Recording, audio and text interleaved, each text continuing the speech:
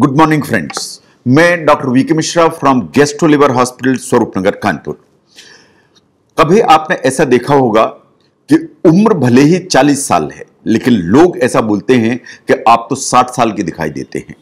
ये जो premature ageing है, या आप जो उम्र से ज़्यादा बड़े दिखाई देते हैं उसके पीछे कुछ ना कुछ लाइफस्टाइल हैबिट्स जिम्मेदार होते हैं। आज हम उन लाइफस्टाइल हैबिट्स की बात करेंगे जो सीक्रेटली आपकी जो एज है, उनको अननेसेसरी ज़्यादा दिखाने की कोशिश करती हैं। ना कुछ बेसिक सच्चाई है, उसको समझने की कोशिश करिए। आप ये तो बिल्कुल मानते हैं कि जहाँ तक एजिंग का सवाल है, ये इनेविटेबल है। एज होगी एज बढ़ेगी तो चेंजेस तो आएँगे। बट ये बात सही है कि जो चेंजेस दिखाई देते हैं आपकी बॉडी के ऊपर आप उन्हें डिले कर सकते हैं। ये जो प्रीमेच्योर एजिंग होती है, ये वास्तव में बहुत सारे लाइफस्टाइल फैक्टर्स होते हैं जो डिटरमाइन करते हैं। ये जो लाइफस्टाइल फैक्टर्स हैं, उनको हमको समझने की ज़रूरत है। ये बात सही है कि लाइफस्टाइल में बहुत सारी ऐसी चीज़ें हैं जो कॉमन हैं, जो हम अनइंटेंशनली या हमें पता भी नहीं लगता है, हम करते चले जाते हैं। ये वास्तव में हमारी प्री मेच्योर एजिंग करती है which is a very worrisome fact आज हम उन पाँच हैबिट्स की बात करेंगे जो वास्तव में आपको प्री मेच्योर एजिंग करने की ताकत रखती हैं। नंबर वन पर देखिए इंक्रीज स्क्रीन टाइम जहाँ तक पेंडेमिक का सवाल है, जो पेंडेमिक है, ये बात सही है कि जो वर्किंग पॉपुलेशन है, वो वास्तव में वर्क फ्रॉम होम के चक्कर में पूरा का पूरा काम घर से कर रही है। अगर आप घर से काम कर रहे हैं तो आपका बहुत सारा जो टाइम है, वो स्क्रीन के ऊपर, यानी लैपटॉप के ऊपर गुजरता है। ये जो ब्लू लाइट का एक्सपोजर है साइंस ऐसा मानती है कि ब्लू लाइट वास्तव में आपकी प्रीमेच्योर जो एजिंग है, उसको ट्रिगर करती है।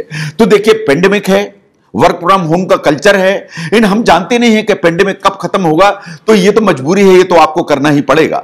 लेकिन इसके अलावा, और जहाँ भी आप बचा सकते हैं, जो एक्सपोजर है स्क्रीन टाइम को, उसको बचाने की आपको कोशिश करनी चाहिए। अगर आप सोशल मीडिया पर बहुत ज़्यादा आई मीन ब्लू लाइट में अपने आप को एक्सपोज करते हैं, उसको आपको कम करने की ज़रूरत है। कभी आप टीवी के सामने बैठ जाते हैं, और पूरी की पूरी वेब सीरीज़ जो है देखना चालू करते हैं, सवेरे से शाम तक, जो इतना जो आप ब्लू लाइट एक्सपोजर लेते हैं, उसे शायद आपको बचाना चाहिए। क्योंकि ऐसा माना गया है कि जो ब्लू लाइट का एक्सपोजर है, वो प्री मेच्योर एजिंग में सबसे ज़्यादा मदद करता है। नंबर टू पर आता है नॉट स्लीपिंग ऑन टाइम अगर आप समय से नहीं सोते हैं तो बात सही है कि आपकी जो उम्र है, जो वास्तव में है, उसे ज़्यादा दिखाई देने लगेगी over a period of time अगर आपकी उम्र चालीस है तो आप पचास दिखने लगेंगे। लोग बोलने लगेंगे कि आपके चेहरे पर कितनी झुर्रियाँ आ गई हैं। अगर आप रोज लेट सोते हैं एंड आप बराबर प्रॉपर नींद नहीं लेते हैं या एडिक्वेट नहीं ले, नींद लेते हैं तो सिर्फ़ आपकी एज नहीं बढ़, बढ़ी हुई दिखाई देगी या प्रीमेच्योर एजिंग होगी। साइंस ऐसा मानती है कि अगर यह फैक्ट है कि आप कम सोते हैं लेट सोते हैं तो वास्तव में आप हार्ट की तमाम बीमारियों को निमंत्रण देते हैं इन्विटेशन देते हैं। जो कार्डियोवेस्कुलर डिजीजेज हैं वास्तव में ये रिस्क में खड़ी हो जाती हैं कि आपको अफेक्ट करेंगी। अगर आप एडिक्वेट स्लीप नहीं लेते हैं तो नंबर तीन पर आती है स्मोकिंग ये हम सब जानते हैं. दैट्स ए फैक्ट कि जहाँ तक स्मोकिंग का सवाल है यह हमारी बॉडी में बहुत ज़्यादा नुकसान करती है. जो निकोटीन है, वो ऐसा कोई सिस्टम नहीं है बॉडी को, चाहे उसको नुकसान ना करती हो. चाहे वो लंग हो, चाहे वो हार्ट हो, चाहे वो ब्रेन हो यह बिल्कुल सबको नुकसान करती है. लेकिन यह बिल्कुल सच्चाई है कि अगर आप क्रॉनिक स्मोकर हैं तो यह वास्तव में आपके चेहरे पे दिखाई देता है। आपकी जो स्किन है, उसमें दिखाई देता है।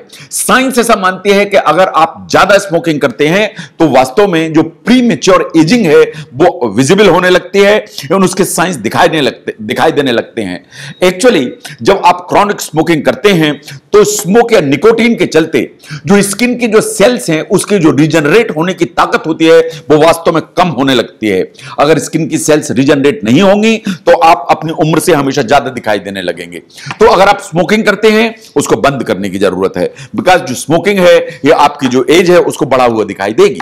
नंबर चार पर आती है अनहेल्दी डाइट जहाँ तक सीडेंट्री लाइफस्टाइल का सवाल है, बिल्कुल बात सही है कि अगर आप एक्सरसाइज नहीं करते हैं, दिन भर बिल्कुल लेजी रहते हैं काउच पोटेटो हैं और कोई एक्सरसाइज नहीं करते हैं सीडेंट्री लाइफस्टाइल है तो ये जहाँ तक बॉडी की एजिंग का सवाल है, is one of the very very important issue लेकिन इसके साथ, अगर आपकी जो डाइट है, वो अनहेल्दी है, इसमें जंक फ़ूड ज़्यादा है इसमें सैचुरेटेड फैट्स ज़्यादा हैं, इसमें ट्रांस फैट्स ज़्यादा है तो साइंस ऐसा मानती है कि सब जो कॉम्बिनेशन है of the sedentary habit and junk food ये जो मिला के आपकी वास्तव में जो स्किन है, उसको काफ़ी डैमेज करने की ताकत रखते हैं। और इससे आपकी एज बड़ी हुई दिखाई देती है। साइंटिफिक रिकमेंडेशन ये हैं कि आपको अपनी जो डाइट है, उसमें कुछ अच्छी मात्रा में जूसेस लेने चाहिए फ्रूट्स लेने चाहिए, हेल्दी स्नैक्स लेने चाहिए, इन अच्छी मात्रा में वेजिटेबल्स आपकी डाइट में होने चाहिए इंक्लूडिंग प्रोटीन्स अगर ये सब combination of the healthy diet आपकी बॉडी में जाता है तो जो प्रीमेच्योर एजिंग की जो संभावना है, वो वास्तव में कम हो जाती है.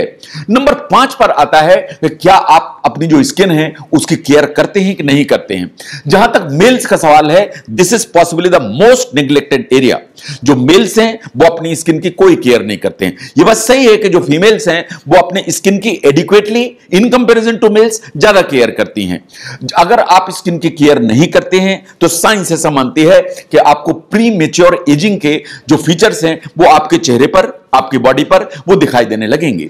जहाँ तक स्किन केयर का सवाल है, इसका यह मतलब नहीं है कि रोज आपको ब्यूटी पार्लर जाना है और आपको पूरा जो आई मीन स्किन केयर के लिए मल्टीपल पैक्स लगवाने। That's not the fact the I mean system is के आपको रोजमर्रे की लाइफ में क्लींजिंग की एक हैबिट डालनी चाहिए, आपको मॉइस्चराइजिंग यूज़ करना चाहिए, और आपको धूप में अगर बहुत जाना है या सनलाइट में बहुत ज़्यादा एक्सपोजर है तो एसपीएफ यूज़ करना चाहिए। तो जहाँ तक स्किन एक्सपोजर का सवाल है या स्किन के केयर का सवाल है, अगर प्री मिच्योर एजिंग है, हो रही है तो उससे बचने के लिए इस फैक्ट को भी ध्यान से देखने की ज़रूरत है। तो जहाँ तक प्रीमेच्योर एजिंग का सवाल है यह बिल्कुल फैक्ट है कि कई बार ऐसा होता है कि हमारी लाइफस्टाइल की जो हैबिट्स होती हैं, हम उसमें ध्यान नहीं देते हैं। हम उसमें ध्यान नहीं देते हैं तो हमारी जो उम्र है बायोलॉजिकल से फॉर एग्जांपल अगर मेरी उम्र 40 साल है तो मैं 50 का दिखाई देने लगता हूँ। मेरी उम्र 50 साल है तो मैं पैंसठ का दिखाई देने लगता हूँ। मेरी 60 साल है तो मैं पचहत्तर का दिखाई देने लगता हूँ। आप अपनी बायोलॉजिकल एज से बड़े और ज़्यादा दिखाई देने लगते हैं because of the premature ageing इन उसके पीछे जिम्मेदार हैं यही पाँच मेजर फैक्टर्स जो वास्तव में अफेक्ट करते हैं। तो प्रीमेच्योर एजिंग के इस एंगल को समझने में अगर यह वीडियो आपको हेल्प करता है तो इसको ज़रूर शेयर करें। मैं doctor VK Mishra from guest labour hospital Swarup Nagar Kanpur thank you very much